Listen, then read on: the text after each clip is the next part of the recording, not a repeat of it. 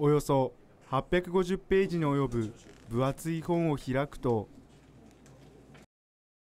5年生ぐらいの時に方言を使わなかった子で表彰されたわけ。仕事も全部覚えてきている時だから26くらいだと思うけどその頃に偽札が横行したのよ。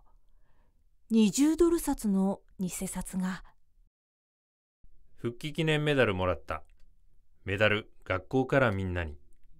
お祭り騒ぎだったかな。一冊の本にまとめられた沖縄の人々の人生の記憶。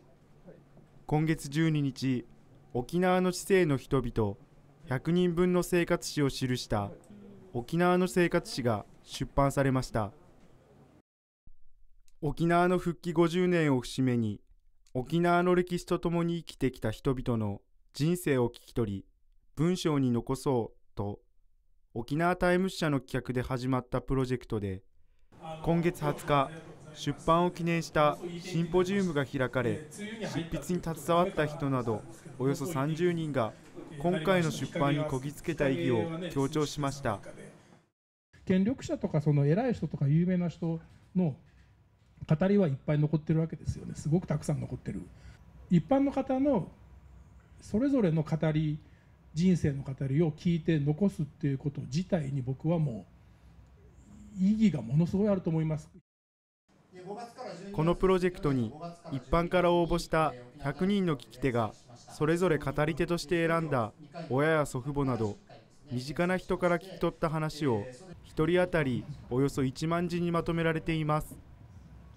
母から見てあの祖父母はどういうふうにあの本土復帰を捉えていたんですかっていうことを聞いたらいやもうあの復帰したら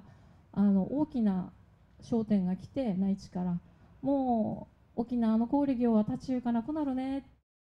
当日あのデートの約束してましたと。復帰の日に対しては、まあ、あの臨時上の地続きの中の1日っていう語りだったのかなっていう印象ですね。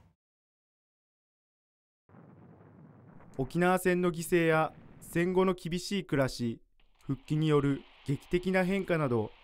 特別な歴史を折り重ねてきた沖縄。そんな特別な島に暮らした人々はどのような人生を送ってきたのか。一つとして同じものがない物語が読む人の目を釘付けにします。よかったなと思ってます。いろんなことね聞いてもらって、えー私としてはねちょっともう、うん、言い言いたくないこともあったんですけどもね、うん、もう綺麗にまとめてくれてありがたいなと思いました。沖縄に暮らした100人の歴史が詰まった沖縄の生活史。ページをめくればそこには懐かしい沖縄の姿が一人一人の視点から鮮やかに描かれています。